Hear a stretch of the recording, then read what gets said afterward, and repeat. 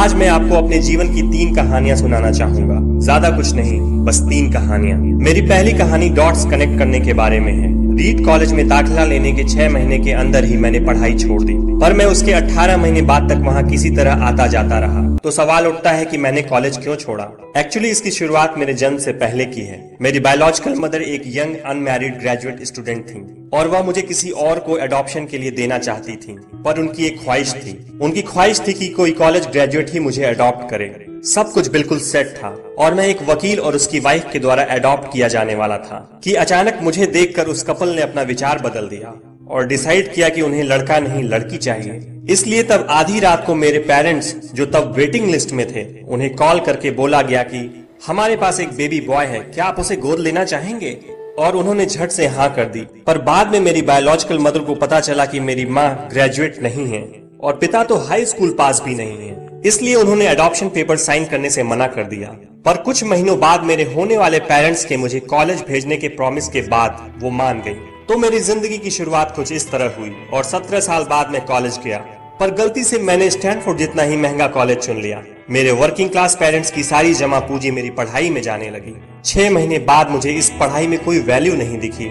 मुझे कुछ आइडिया नहीं था कि मैं अपनी ज़िंदगी में क्या करना चाहता हूँ और कॉलेज मुझे किस तरह से इसमें हेल्प करेगा। और ऊपर से मैं अपने पेरेंट्स की जीवन भर की कमाई खर्च करते जा रहा था। इसलिए मैंने कॉलेज ड्रॉप आउट करने का निर्णय लिया और सोचा, जो होगा अच्छा होगा। उस समय तो यह सब कुछ मेरे लिए काफ़ी डरावना था। पर जब मैं पीछे मुड़कर देखता हूँ तो मुझे लगता है कि ये मेरी ज़िंदगी का one of the best decision था। जैसे ही मैंने कॉलेज छोड़ा, मेरे ऊपर से ज़रूरी क्लासेस करने की बाध्यता खत्म हो गई और मैं चुपचाप सिर्फ़ अपने इंटरेस्ट की क्लासेस करने लगा। ये सब कुछ इतना आसान नहीं था। मेरे पास रहने के लिए कोई रूम नहीं था। इसलिए मुझे दोस्तों के रूम में फर्श पर सोना पड़ता था। मैं कोक की बोतल लौटाने पर मिलने वाले पैसों से खाना खाता था। मैं हर संडे सात मील पैदल चलकर हरे कृष्णा टेंपल जाता था, ताकि कम से कम हफ़्ते में एक दिन पेट भर के खाना खा सकूँ। यह मुझे काफ़ी अच्छा लगता था। मैंने अपनी लाइफ में जो कुछ भी अपनी क्यूरियोसिटी और इंट्यूशन की वजह से किया, वह बाद में मेरे लिए प्राइसलेस साबित हुआ। Let me give an example उस समय रीड कॉलेज शायद दुनिया की सबसे अच्छी जगह थी जहाँ कैलीग्राफी सिखाई जाती थी। पूरे कैंपस में हर एक पोस्टर, हर एक लेबल बड़ी खूबसूरती से हाथों से कैलीग्राफ किया होता था। चूँकि मैं कॉलेज से ड्रॉप आउट कर चुका था, इसलिए मुझे नॉर्मल क्लासेस करने की कोई ज़रूरत नहीं थी। मैंने तय किया कि मैं कैलीग्राफी की क्लासेस करूँगा और इसे अच्छी तरह से सीखूँगा। मैंने सेरिफ और सैन सेरिफ टाइप फेसेस के बारे में सीखा। अलग अलग लेटर कॉम्बिनेशन के बीच में स्पेस वेरी करना और किसी अच्छी टाइपोग्राफी को क्या चीज़ अच्छा बनाती है, यह भी सीखा। यह खूबसूरत था। इतना आर्टिस्टिक था कि इसे साइंस द्वारा कैप्चर नहीं किया जा सकता। और ये मुझे बेहद अच्छा लगता था। उस समय जरा सी भी उम्मीद नहीं थी कि मैं इन चीज़ों का यूज़ कभी अपनी लाइफ में करूँगा। लेकिन जब 10 साल बाद हम अपना पहला मैकिनटॉस कंप्यूटर बना रहे थे, तब मैंने इसे मैक में डिज़ाइन कर दिया। और मैक खूबसूरत टाइपोग्राफी युक्त दुनिया का पहला कंप्यूटर बन गया। अगर मैंने कॉलेज से ड्रॉप आउट नहीं किया होता तो मैक में कभी मल्टीपल टाइप फेसेस या प्रोपोर्शनली स्पेस्ड फॉन्ट्स नहीं होते। और चूँकि विंडोज़ ने मैक की कॉपी की थी तो शायद किसी भी पर्सनल कंप्यूटर में ये चीज़ें नहीं होती। अगर मैंने ड्रॉप आउट नहीं किया होता तो कभी कैलीग्राफी की वो क्लासेस नहीं कर पाता, और फिर शायद पर्सनल कंप्यूटर्स में जो फॉन्ट्स होते हैं, वो होते ही नहीं। ऑफ़ कोर्स जब मैं कॉलेज में था, तब भविष्य में देखकर इन डॉट्स को कनेक्ट करना इम्पॉसिबल था। लेकिन 10 साल बाद, जब मैं पीछे मुड़कर देखता हूँ तो सब कुछ बिल्कुल साफ़ नज़र आता है। आप कभी भी फ्यूचर में झाँक डॉट्स कनेक्ट नहीं कर सकते। आप सिर्फ़ पास्ट देखकर ही डॉट्स कनेक्ट कर सकते हैं। इसलिए आपको यकीन करना होगा कि अभी जो हो रहा है, वह आगे चलकर किसी न किसी तरह आपके फ्यूचर से कनेक्ट हो जाएगा। आपको किसी न किसी चीज़ में विश्वास करना ही होगा। अपने गट्स में, अपनी डेस्टिनी में, अपनी ज़िंदगी या फिर अपने कर्म में किसी न किसी चीज़ में विश्वास करना ही होगा। क्योंकि इस बात में बिलीव करना कि आगे चलकर डॉट्स कनेक्ट होंगे, आपको अपने दिल की आवाज़ सुनने की हिम्मत देगा। तब भी जब आप बिल्कुल अलग रास्ते पर चल रहे होंगे। And that will make the difference मेरी दूसरी कहानी लव और लॉस के बारे में है। मैं जिस चीज़ को चाहता था, वह मुझे जल्दी ही मिल गई। वो और मैंने अपने पेरेंट्स के गैराज से एप्पल शुरू की। तब मैं 20 साल का था। हमने बहुत मेहनत की और 10 साल में एप्पल दो लोगों से बढ़कर दो बिलियन डॉलर और चार हज़ार लोगों की कंपनी हो गई। हमने अभी एक साल पहले ही अपनी फाइनेस्ट क्रिएशन मैकिनटॉस रिलीज़ की। मैं तीस का हो गया था और मुझे कंपनी से फायर कर दिया गया। आप अपनी ही बनाई हुई कंपनी से फायर कैसे हो सकते हैं? वेल well, जब कंपनी ग्रो होने लगी तब हमने एक टैलेंटेड आदमी को हायर किया। मैंने सोचा कि वो मेरे साथ कंपनी रन करेगा। पहले एक साल सब कुछ ठीक ठाक चला लेकिन फिर कंपनी के फ्यूचर विजन को लेके हम दोनों में मतभेद होने लगे। बात बोर्ड ऑफ़ डायरेक्टर्स तक पहुँच गई और उन लोगों ने उसका साथ दिया। सो एट थर्टी मुझे निकाल दिया गया।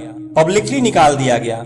जो मेरी पूरी एडल्ट लाइफ का फोकस था, वह अब खत्म हो चुका था और ये बिल्कुल ही तबाह करने वाला था। मुझे सचमुच अगले कुछ महीनों तक समझ ही नहीं आया कि मैं क्या करूँ। मुझे महसूस हुआ कि ये सब कुछ इतनी आसानी से एक्सेप्ट करके मैंने अपने पहले की जनरेशन के ऑन्टरप्रन्योर्स को नीचा दिखाया है।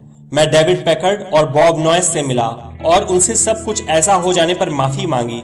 मैं एक बहुत बड़ा पब्लिक फेलियर था। एक बार तो मैंने वैली छोड़कर जाने की भी सोची, पर धीरे धीरे मुझे एहसास हुआ कि मैं जो काम करता हूँ, उसके लिए मैं अभी भी पैशनेट हूँ। एप्पल में जो कुछ हुआ, उसकी वजह से मेरे पैशन में जरा सी भी कमी नहीं आई है। मुझे रिजेक्ट कर दिया गया है, पर मैं अभी भी अपने काम से प्यार करता हूँ। इसलिए मैंने एक बार फिर से शुरुआत करने की सोची। मैंने तब नहीं सोचा, पर अब मुझे लगता है कि एप्पल से फायर किए जाने से अच्छी चीज़ मेरे साथ हो ही नहीं सकती थी। सक्सेसफुल होने का बोझ अब बिगनर होने के हल्केपन में बदल चुका था। मैं एक बार फिर खुद को बहुत फ्री महसूस कर रहा था। इस फ्रीडम की वजह से मैं अपनी लाइफ की सबसे क्रिएटिव फ़ेज़ में आ पाया। अगले पाँच सालों में मैंने एक कंपनी नेक्स्ट और एक दूसरी कंपनी पिक्सर स्टार्ट की। और इसी दौरान मेरी मुलाकात एक बहुत ही अमेजिंग लेडी से हुई, जो आगे चलकर मेरी वाइफ बनी। पिक्सर ने दुनिया की पहली computer animated movie toy story बनाई। और इस वक्त यह दुनिया का सबसे सफल एनिमेशन स्टूडियो है। एप्पल ने एक अप्रत्याशित कदम उठाते हुए नेक्स्ट को खरीद लिया और मैं एप्पल में वापस चला गया। आज एप्पल नेक्स्ट द्वारा डेवलप की गई टेक्नोलॉजी यूज़ करती है। अब लोरीन और मेरा एक सुंदर सा परिवार है। मैं बिल्कुल श्योरिटी के साथ कह सकता हूँ कि अगर मुझे एप्पल से नहीं निकाला गया होता तो मेरे साथ ये सब कुछ नहीं होता। ये एक कड़वी दवा थी, पर शायद पेशेंट को इसकी ज़रूरत थी। कभी कभी ज़िंदगी आपको इसी तरह ठोकर मारती है। अपना विश्वास मत खोइए। मैं यकीन के साथ कह सकता हूँ कि मैं सिर्फ़ इसलिए आगे बढ़ता गया क्योंकि मैं अपने काम से प्यार करता था। आई लव माई वर्क आप रियली क्या पसंद करते हैं, यह आपको जानना होगा। जितना अपने लव को फाइंड करना ज़रूरी है, उतना ही उस काम को ढूंढना ज़रूरी है, जिसे आप सचमुच एंजॉय करते हो। आपका काम आपकी ज़िंदगी का एक बड़ा हिस्सा होगा और ट्रूली सेटिस्फाइड होने का एक ही तरीका है। कि आप वो करें जिसे आप सचमुच एक बड़ा काम समझते हो। और बड़ा काम करने का एक ही तरीका है कि आप वो करें जो करना आप इंजॉय करते हो। यदि आपको अभी तक वो काम नहीं मिला है तो आप रुकिए मत, उसे खोजते रहिए। जैसा कि दिल से जुड़ी हर चीज़ में होता है, वो जब आपको मिलेगा, तब आपको पता चल जाएगा। और जैसा कि किसी अच्छी रिलेशनशिप में होता है, वो समय के साथ साथ और अच्छा होता जाएगा, इसलिए खोजते रहिए, रुकिए मत। मेरी तीसरी कहानी डेथ के बारे में है। जब मैं सत्रह साल का था तो मैंने एक कोट पढ़ा था, जो कुछ इस तरह था। यदि आप हर रोज ऐसे जिए, जैसे कि ये आपकी ज़िंदगी का आखिरी दिन है तो आप किसी न किसी दिन सही साबित हो जाएँगे। इसने मेरे दिमाग पे एक इम्प्रेशन बना दी, और तब से पिछले 33 सालों से मैंने हर सुबह उठकर शीशे में देखा है, और खुद से एक सवाल किया है, अगर ये मेरी ज़िंदगी का आखिरी दिन होता तो क्या मैं आज वो करता, जो मैं करने वाला हूँ? और जब भी लगातार कई दिनों तक जवाब नहीं होता है मैं समझ जाता हूँ कि कुछ बदलने की ज़रूरत है। इस बात को याद रखना कि मैं बहुत जल्द मर जाऊँगा मुझे अपनी लाइफ के बड़े डिसीजंस लेने में सबसे ज़्यादा मदद करता है। क्योंकि जब एक बार डेथ के बारे में सोचता हूँ तब सारी एक्सपेक्टेशंस, सारा प्राइड फेल होने का डर सब कुछ गायब हो जाता है और सिर्फ़ वही बचता है जो वाकई ज़रूरी है। इस बात को याद रखना कि एक दिन मरना है किसी चीज़ को खोने के डर को दूर करने का सबसे अच्छा तरीका है। आप पहले से ही नेकेड हैं। ऐसा कोई रीजन नहीं कि आप अपने दिल की ना सुने। करीब एक साल पहले मुझे पता चला कि मुझे कैंसर है। सुबह साढ़े सात बजे मेरा स्कैन हुआ, जिसमें साफ़ साफ़ दिख रहा था कि मेरे पैंक्रियाज में ट्यूमर है। मुझे तो पता भी नहीं था कि पैंक्रियाज होते क्या हैं। डॉक्टर ने लगभग यकीन के साथ बताया कि मुझे एक ऐसा कैंसर है जिसका इलाज संभव नहीं है। और अब मैं बस तीन से छह महीने का मेहमान हूँ। डॉक्टर ने सलाह दी कि मैं घर जाऊँ और अपनी सारी चीज़ें व्यवस्थित कर लूँ, जिसका इनडायरेक्ट मतलब होता है कि आप मरने की तैयारी कर लीजिए। इसका मतलब कि आप कोशिश करिए कि आप अपने बच्चों से जो बातें अगले दस साल में करते वे अगले कुछ महीनों में कर लीजिए। इसका ये मतलब होता है कि आप सब कुछ व्यवस्थित कर लीजिए ताकि आपके बाद आपकी फैमिली को कम से कम परेशानी हो। इसका ये मतलब होता है कि आप सबको गुड बाय कर दीजिए। मैंने इस डायग्नोसिस के साथ पूरा दिन बिता दिया।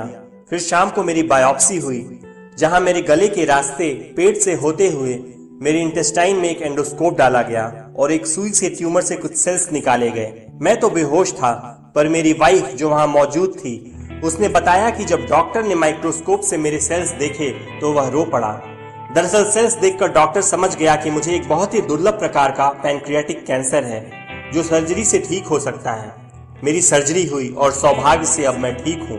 मौत के इतना करीब मैं इससे पहले कभी नहीं पहुँचा और उम्मीद करता हूँ कि अगले कुछ दशकों तक पहुँचू भी नहीं। ये सब देखने के बाद मैं और भी विश्वास के साथ कह सकता हूँ कि डेथ एक यूजफुल बट इंटेलेक्चुअल कॉन्सेप्ट है। कोई मरना नहीं चाहता है। यहाँ तक कि जो लोग स्वर्ग जाना चाहते हैं वो भी। फिर भी मौत वो मंजिल है जिसे हम सब शेयर करते हैं। आज तक इससे कोई बचा नहीं है। और ऐसा ही होना चाहिए, क्योंकि शायद मौत ही इस ज़िंदगी का सबसे बड़ा आविष्कार है। ये ज़िंदगी को बदलती है, पुराने को हटाकर नए का रास्ता खोलती है। और इस समय नए आप हैं, पर ज़्यादा नहीं, कुछ ही दिनों में आप भी पुराने हो जाएँगे, और रास्ते से साफ़ हो जाएँगे। इतना ड्रामेटिक होने के लिए मैं माफ़ी चाहता हूँ, पर यह सच है, आपका समय सीमित है, इसलिए इसे किसी और की ज़िंदगी जीकर व्यर्थ मत कीजिए। बेकार की सोच में मत फंसिए अपनी ज़िंदगी को दूसरों के हिसाब से मत चलाइए।